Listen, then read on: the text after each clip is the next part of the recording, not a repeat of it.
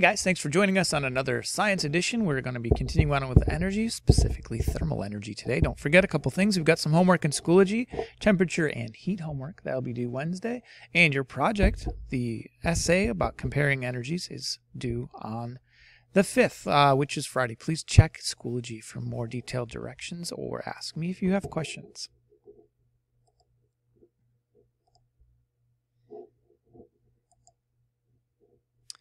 All right. So today, um, as a quick review, we have a question here for you today. What is the conservation of energy? How does energy transform in from one form into another? And we've got Dan's Dam.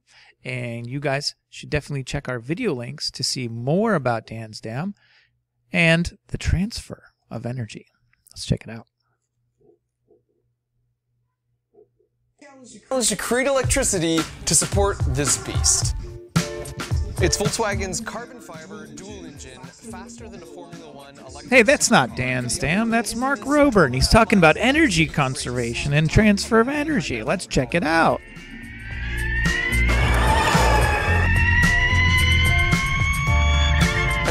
Further instructions on how they wanted it done. So I thought, how cool would it be to charge it up using one of those science fair lemon batteries? And since I'm pretty sure using only one lemon isn't going to cut it, my plan is to build the Guinness World Record world's largest lemon battery. And when it comes to making ridiculous things, no one is better at that than fellow YouTube engineer, William P. Osman. Oh. The first video I saw of yours was when you biohacked your dog. How did that work? Not well. We tried to dangle a hot dog in front of a dog's face on a mechanical backpack, Yeah. and then you can steer the hot dog to uh, try to get the dog to change directions. And what he ended up doing was sitting down and eating them. So we've estimated this should take about three days for us to build, and yet I've only allotted two minutes for this in the video. So you know what that means. You plan on your videos working?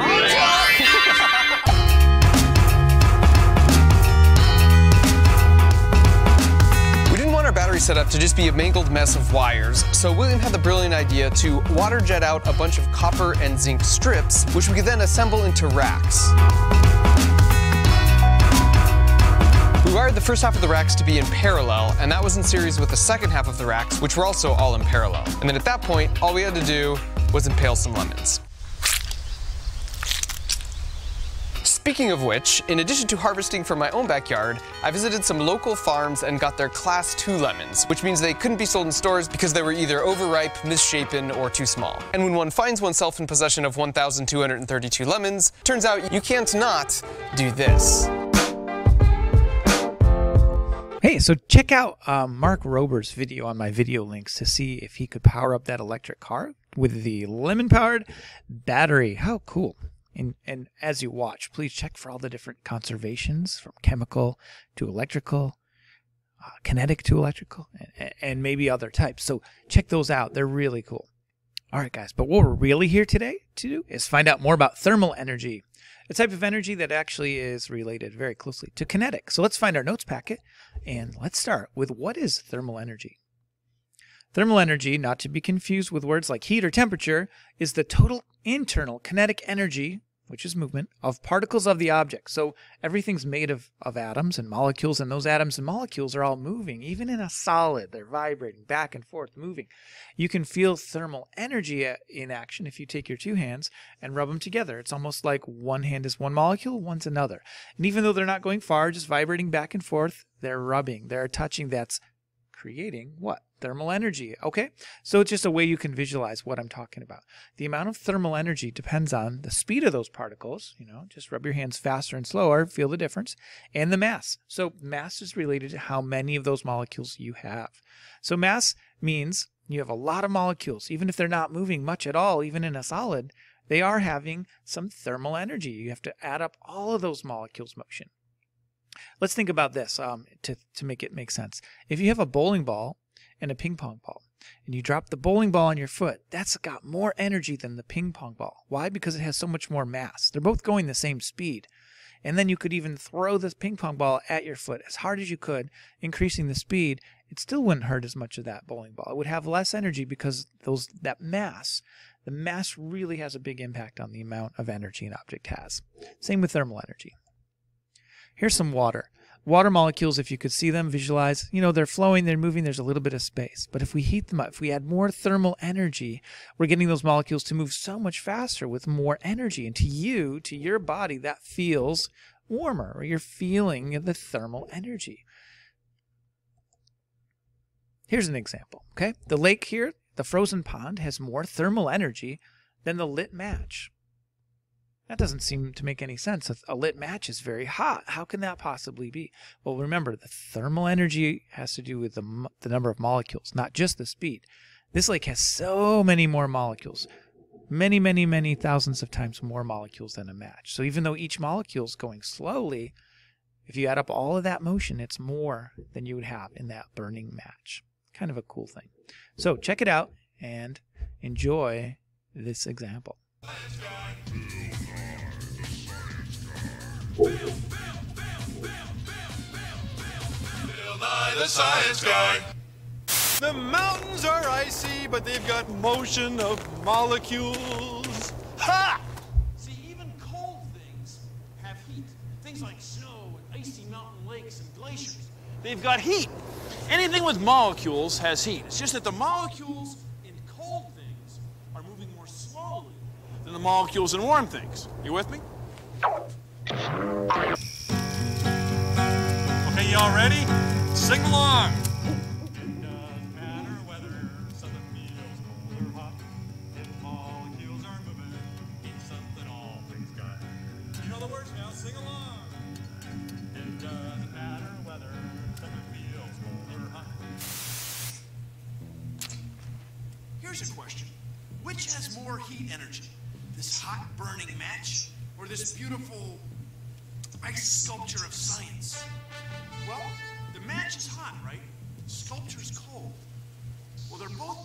Molecules, right?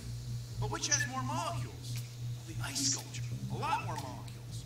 So although they're much colder than the match, they actually have more heat energy. More molecules, more heat energy. Think of it this way. Suppose you tried to take a burning match and use it to melt the whole ice sculpture. Well, it's not going to happen, right? I mean, the match is going to run out of molecules long before the sculpture. So, more molecules, more heat energy. Ooh, ow, ow. Careful.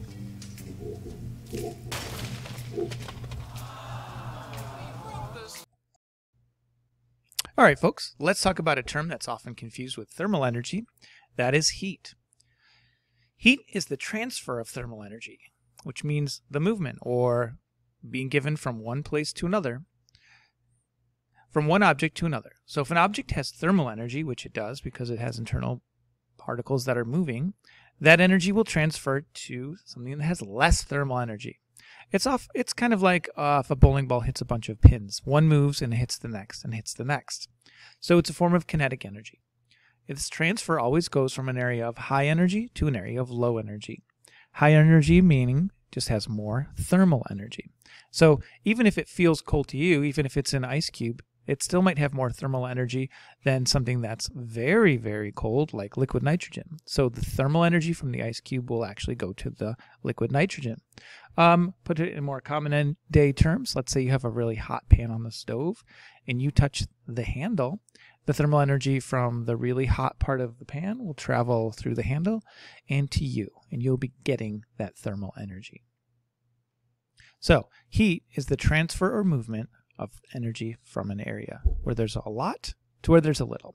So, we're going to take a look at an example of that coming right up here and BrainPOP. Check it out. Dear Tim and Moby, what is heat?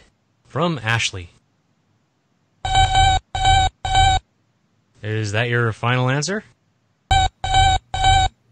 Is that your final answer? Yeah, you, you go phone a friend. When molecules are exposed to energy, they absorb it and become pretty active. In this excited state, they move around faster and bump into each other a lot. Temperature measures just how fast those molecules are moving. Heat measures the energy contained within an object because of its moving molecules. For example, there's a lot more heat in an iceberg than in a pot of boiling water. I'm sure the boiling water has a higher temperature, but the iceberg is a lot bigger. The molecules in the iceberg aren't moving as fast, but there are lots more of them. all that motion adds up to a greater heat energy. The lowest temperature you can get is absolute zero, or about minus 273 degrees Celsius. That's the point where all molecular motion freezes to a halt. Right after the Big Bang, the temperature of the universe was in the billions, and it was too hot for even molecules to form. Heating up an object can cause it to expand because those excited molecules take up more space. Get it hot enough and it'll melt into a liquid. With even more heat, that liquid will become a gas.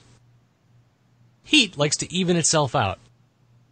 This radiator is on and it's heating up the room.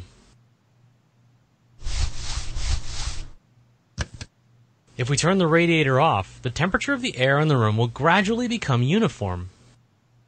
Even though heat itself is energy, it takes other types of energy to create heat. Solar energy, light from the sun, sustains life on Earth. The chemical energy stored inside wood and gas gives off heat when it's burned. And speaking of chemical energy, the chemical reactions that happen inside your body also generate heat. Electricity heats up the metal wires in a toaster.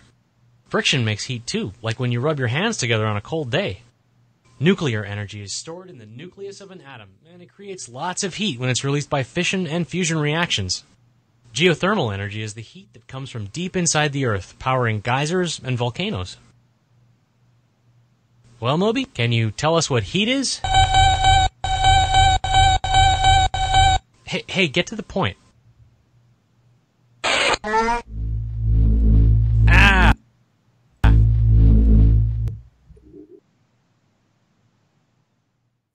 So, if heat is the transfer of thermal energy to one object to another, then we can eas- easily see and measure that happening. We call this this movement diffusion often, where something is warmer, uh, more thermal energy, transferring to something with less. Interestingly enough, that means there's no such thing as cold energy. Notice we didn't define cold or cold energy. It's just the absence of heat, the absence of the movement of thermal energy. So if you leave your door open and someone says you're letting in all the cold air, you can say to them, "No, I'm just transferring the the, the thermal energy from the warm air to the cold air that's coming in from the outside. There is no cold. It's just less and less heat." Now, can you uh, cool something down? Can you remove all of the thermal energy to a place where there's no thermal energy? In other words, there's no motion. In an ice cube, even though you've, you've frozen the water, you've slowed it down so much the molecules aren't technically moving. They are. They actually are. Molecules are always moving, even just vibrating back and forth, just a little bit. So, could you remove all of the thermal energy? Well, it just so happens that theoretically you can. And the idea of that gives us the idea of absolute zero, which is a temperature where there's no motion of molecules. Can you imagine such a place? Maybe outer space? Well, turns out the coldest place in the universe is actually in labs where they're trying to achieve absolute zero. No one's actually achieved it, but we've gotten within about a billionth of a degree. But you can't stop every molecule from moving. Let's check it out.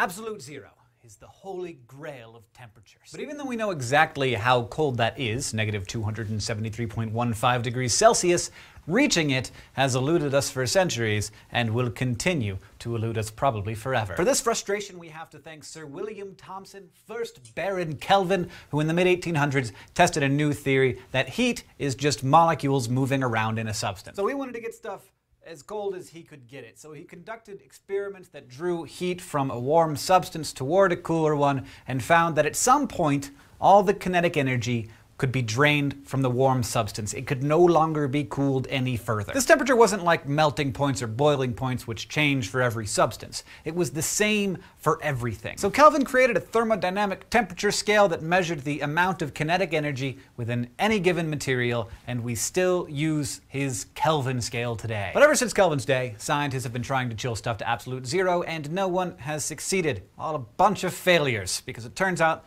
quantum mechanics is involved, which means it's really complicated. Physicists know that absolute zero does not mean a complete absence of motion in a substance. Instead, zero degrees Kelvin marks the state of minimal motion of a substance particles. That's because of Heisenberg's. Well, if you're interested in finding out more about absolute zero, please click the video links to see the rest of this exciting video on absolute zero and a whole bunch of other stuff about thermal energy, heat, and temperature. Let's move on in our notes to the next section about temperature. Speaking about temperature, what is that? Temperature is a human-made idea, a, measurement, okay, that, that people have made up, and it could involve any types of numbers that you want. It just so happens we use three scales quite commonly. It's a measurement of that average thermal energy of an object based on the expansion of materials, like mercury, as they're heated. So what do I mean by that? Well, mercury, an element, has certain properties. And as you apply heat, thermal energy is transferred to mercury, the molecules move faster and they spread out and they expand. This is common for quite a few materials. Mercury is particularly good at this and it will expand in a constant rate no matter what the temperature. So uh, what we can do is get a, a glass container or tube, have some mercury in it, and as that mercury is heated, as thermal energy transfers into it, it expands and has nowhere to go but up the tube.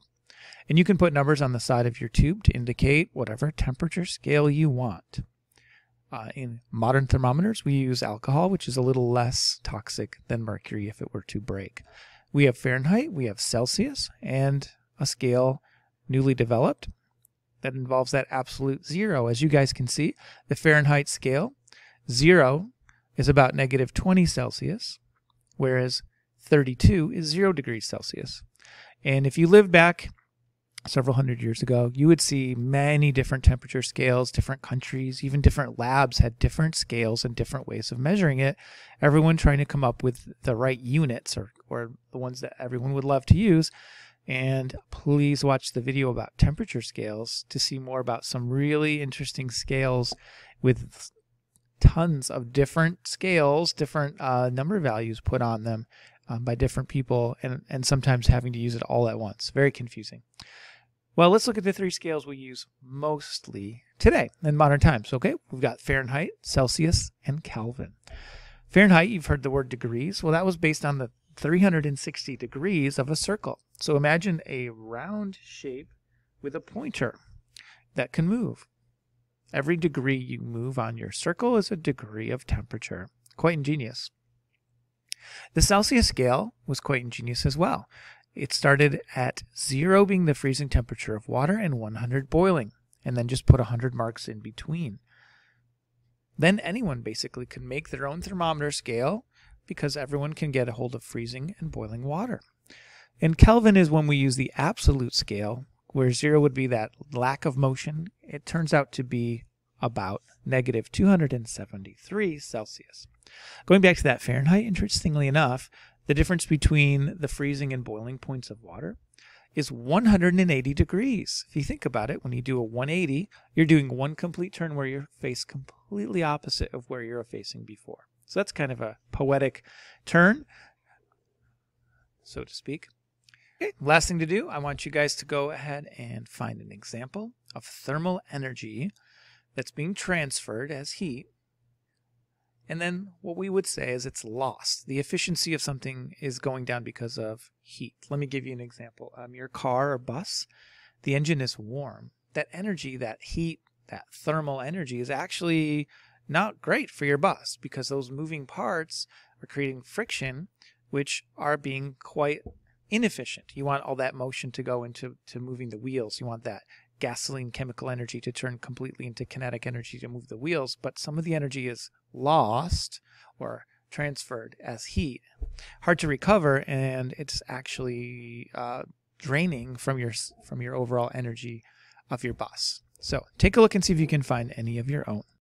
Lots of chances for heat energy, thermal energy, turning to heat to sort of suck away some of the energy of a, of a machine or, or anything really, because as energy is transferred, in the example of our roller coaster here, the potential to kinetic back to potential, there's this mechanical energy, and remember the rails and wheels are touching. And so friction is going to generate heat, which is going to, we could say, lose some of that um, that motion energy. Of course, it's just being transferred into heat, but since it's hard for humans to recover and use things like heat and sound, um, which are both again kinetic forms of energy, we often say that energy was lost. Well, folks, hope that lesson on thermal energy was interesting. Don't forget to check the video links for, for many videos that are, are very highly captivating if you're interested in, in temperature scales and where they came from. I highly recommend you check those out. Um, please work on your project, Energy in the News, or your, your homework, which also can be found on Schoology. And if you get chance, go out in your backyard and, and enjoy some of the thermal energy of your rink. All right, guys. Hey, thanks for trying science, and we'll see.